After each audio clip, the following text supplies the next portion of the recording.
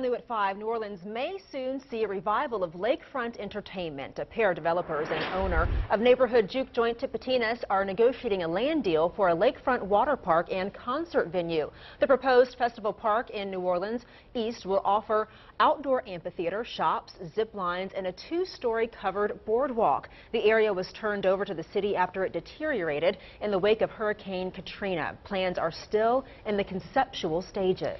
So